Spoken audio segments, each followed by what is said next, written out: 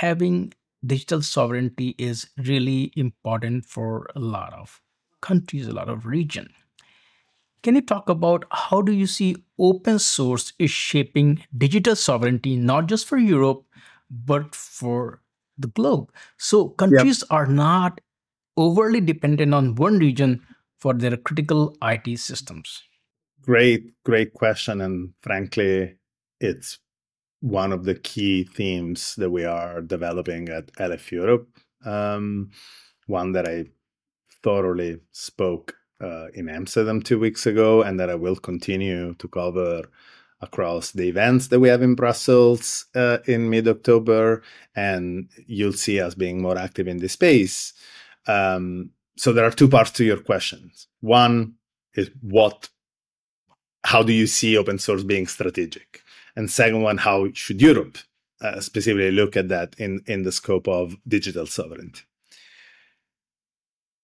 The first part, to, the first answer is, you know, if you are a, an enterprise, absolutely, and I've learned this through my experience at Finos, uh, with the largest bank in the world, which, as you can imagine, are the most ROI driven uh, uh, organizations out there. It is about the value, the commercial value that you're going to get out of open source in the way you run your business. Is it a cost reduction? Is it a competitive advantage?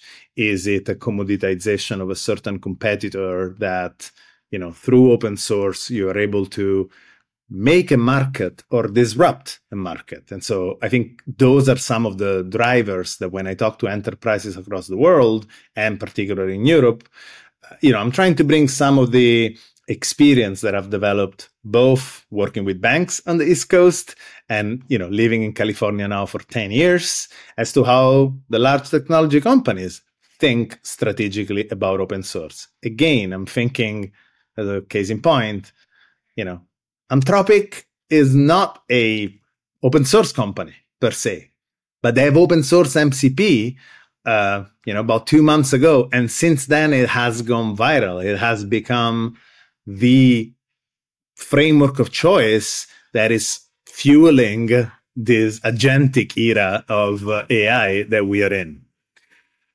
If you are a public sector uh, then I think digital sovereignty is absolutely the uh, most important reason why a nation state should look at open source as a way, to your point, to reduce dependencies on, um, uh, you know, known local, uh, uh, on foreign service providers.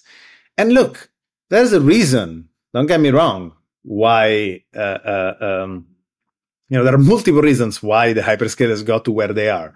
It's not just the scale, it's not just the capabilities, it's also being able to, you know, service this, their customers uh, very well. You know, in the US, they've got this down to a science. Uh, again, the, the, the, the SaaS world that, that I live in uh, has all practices that are very, very, um, again, structured and successful. Um, so when I think this goes back to the point I was trying to make before, it has been clearly recognized. If you hear about initiative like IPSIS or Eurostack or uh, um, uh, you know plenty of initiatives out there, even in the recent um, State of the Union from Ursula von der Leyen, you've heard uh, a call to you know prefer uh, uh, European technologies as a fundamental pillar of of uh, sovereignty of, of national security. That's um, you know absolutely understandable.